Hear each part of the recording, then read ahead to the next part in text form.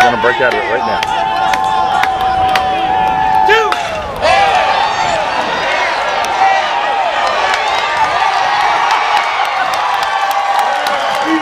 Two.